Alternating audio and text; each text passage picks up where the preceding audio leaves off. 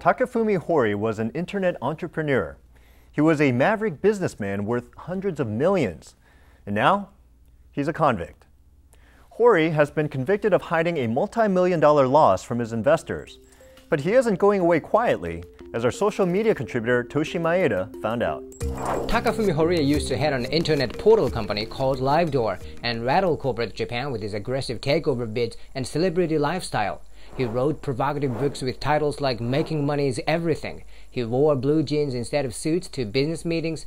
Everything he did seemed to offend Japan's buttoned down business community. But the maverick entrepreneur has to spend the next two and a half years in prison after he was found guilty of accounting fraud.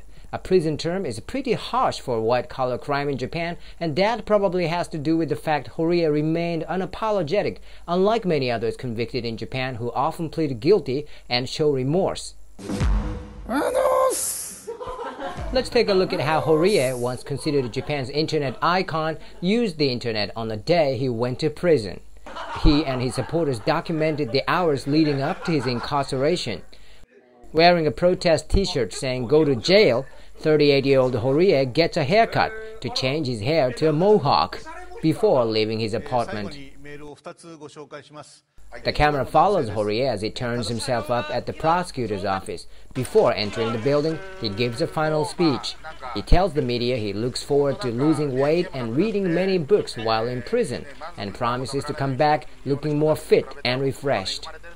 And Horie stays connected to the web even from inside the prison. How? Through his supporters. Horie's Twitter entries are now less timely and responsive, but he's still tweeting.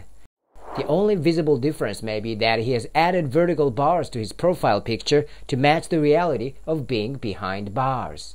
The way he tweets is that he handwrites letters and gives them to his supporters during visitation. Then the supporters break up Horie's text into short sentences and put them on Twitter for his more than half a million followers. Here are some of his tweets from inside the prison. Talking about his mohawk hair, he said, I thought it would upset prosecutors, but they actually liked it. They said my hair helped them spot me in a crowd. Another tweet reads, I've written seven pages. When I arrived at the lobby of the prosecutor's office, I got depressed, to be honest, but as I started writing, I started feeling better. But not everything is on Twitter.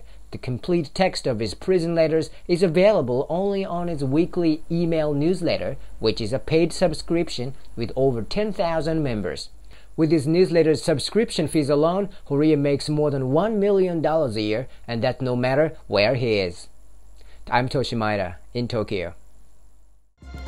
Link TV is the only U.S. network dedicated to global and national news, uncompromising documentaries, and diverse cultural programs programs which connect you to the world. To learn more, visit linktv.org.